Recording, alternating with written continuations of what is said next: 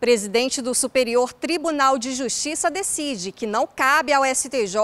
analisar pedido que busca suspender decisão que trocou o comando da Confederação Brasileira de Futebol. Por entender que há falta de interesse público no caso, a ministra Maria Tereza de Assis Moura presidente do Superior Tribunal de Justiça, não conheceu do pedido da Confederação Brasileira de Futebol, a CBF, para suspender decisão do Tribunal de Justiça do Rio de Janeiro, que destituiu Edinaldo Rodrigues e oito vice-presidentes do comando da entidade. Na origem do recurso feito pela CBF ao STJ está uma ação civil pública proposta pelo MP do Rio de Janeiro em 2017, pedindo a destituição dos diretores da CBF à época e a convocação para novas eleições. Em primeira instância, o pedido foi deferido em parte. As mudanças de regras eleitorais feitas em 2017 foram anuladas e determinada a realização de novas eleições.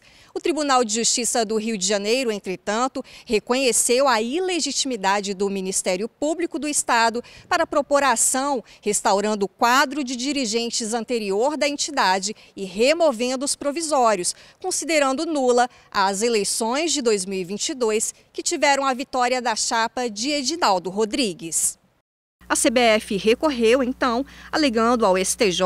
o cabimento do pedido de suspensão devido à defesa do interesse público relativo à exploração econômica e à gestão do futebol. A ministra Maria Tereza de Assis Moura explicou que a CBF não se enquadra em nenhuma das hipóteses previstas na lei que dispõe sobre a concessão de medidas cautelares contra atos do poder público e nem nos casos em que a jurisprudência admite certa flexibilização de legitimidade ativa, sendo inviável a análise do pedido de suspensão.